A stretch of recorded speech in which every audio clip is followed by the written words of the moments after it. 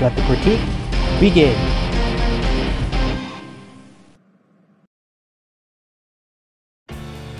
It's been about a couple weeks since Scoob has been a home premiere, but from my experience, it's not that special.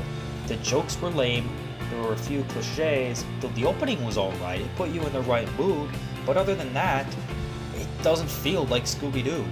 That last statement was also a reason I don't like the first live-action Scooby-Doo film by Raja Gosnell. But would you believe there is actually a sequel? It has the same lead actors as before and was also directed by Gosnell. The sequel did so poorly that a third film that James Gunn was set to write and direct was cancelled. Unfortunately, that didn't stop live action adaptations of the series from being made. What's wrong with Scooby Doo 2 Monsters Unleashed and how does it compare to the first film? Here's my experience.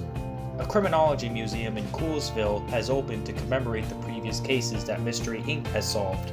That night of its opening, Mystery Inc. themselves attend, but this evil masked figure, seriously, that's what he's called, bursts in with a reanimated pterodactyl ghost and steals two of the costumes. Now the gang needs to figure out who the evil masked figure is.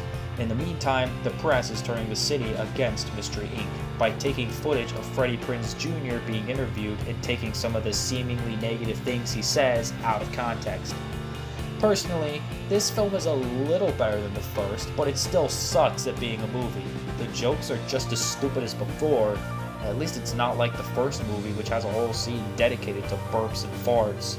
No, this time, it's the type of humor that involves a kick to the nuts. Yeah, right, nuts. And yeah, there's still some fart jokes. It's also predictable who the villain is, but I'm not going to tell you about it because you don't want to watch this. Understandably, people hate this film more than the first film because of that predictable ending, as well as the performances of the new stars.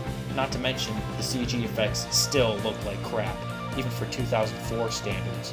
For goodness sake, this film came out the year after Pirates of the Caribbean, and the Skeleton Pirates still look cool today. Are we missing something here? Thankfully, there's no Scrappy Doo in the movie, and there's more emphasis on clue hunting.